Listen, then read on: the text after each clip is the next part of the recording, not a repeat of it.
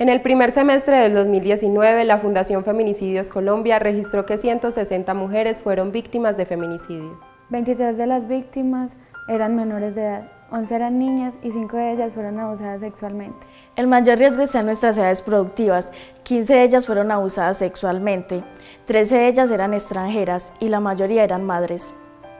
Nuestra casa sigue siendo el lugar más peligroso.